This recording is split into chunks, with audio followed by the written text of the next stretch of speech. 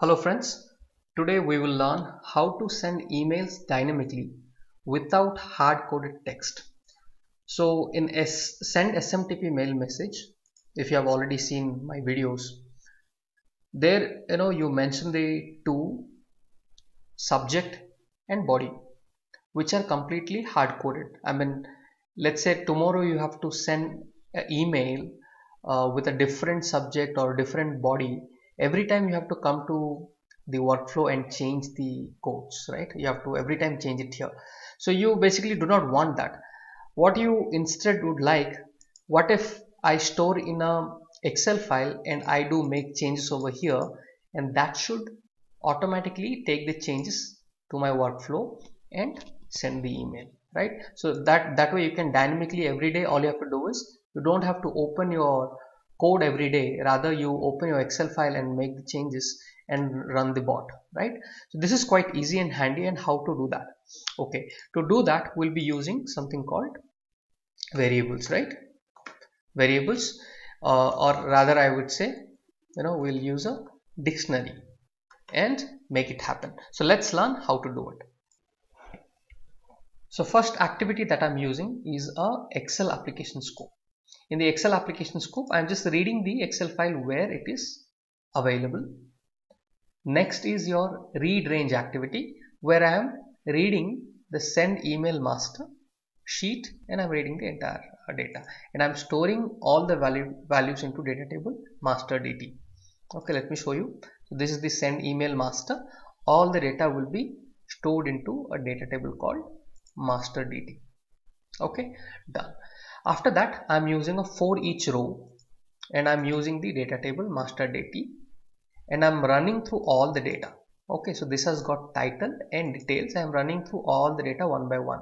Okay so here what I'm using is a R2 dictionary. Okay now uh, if you are a you know uh, if you find that R2 dictionary is something not available on your UiPath click on manage packages and type here. Go to all packages. Select all packages. And type Microsoft dot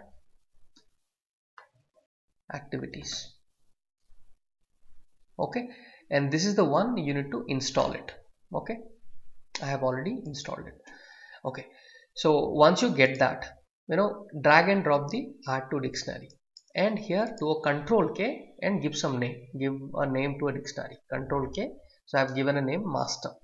Okay. So master is a dictionary. So if I go back here here you can see the master is a dictionary.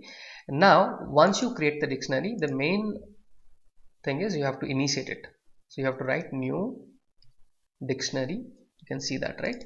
So I'm going to handle string and string because all these values uh, to subject and body will be of string type. So all I have to do is string of string.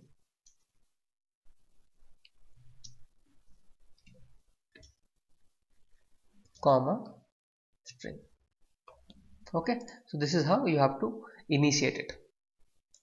So once the dictionary is initiated what I'm doing I wanted to pull row you know title title dot to string.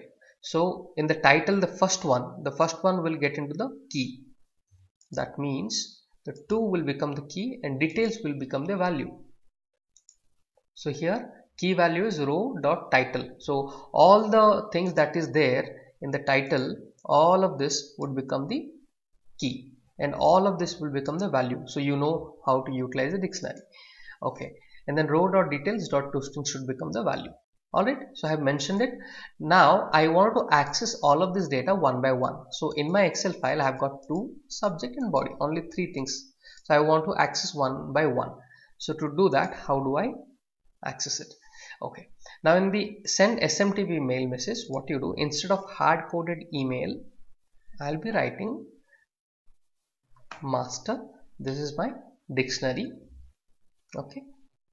The give the bracket and within quotes you have to I want to access 2 okay? And here you write dot to string.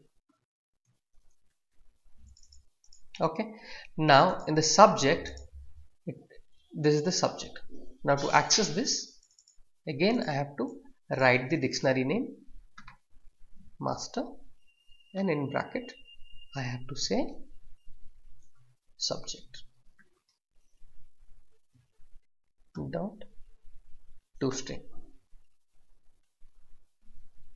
All right and the body master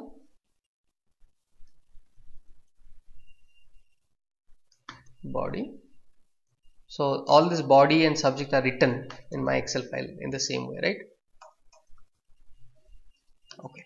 So if you see this now all of these are the exact way I have written. Whatever the variables you are declaring it here the same way you should write it over here. Okay once done let let us execute and see. So let me open my gmail. Okay there is no such email now. And let me run it. So let me show you what I have written. Um, subject day one uh, UiPath topic. Hello Rakesh. Please find the activities completed by our team. Please access the below URL thanks and regards expo team. So this is what the entire data. Okay so now I am going to send this. So this is the so tomorrow if I have to send another kind of a topic or uh, to another person I just have to use the same Excel file and change the details there right? So it will be quite easy. So that is the benefit. Okay. So it's completed. Let me go back. Okay. So you can see that day one your topic has come right? And here all the details as we have mentioned in the excel file has come over here. Thank you very much guys. Myself rakesh. I do upload videos daily. And with a lot of interesting topics please do subscribe to the channel in in case you have not. And please definitely hit on the like button and ask your questions in the comment section. Thank you very much. Have a wonderful day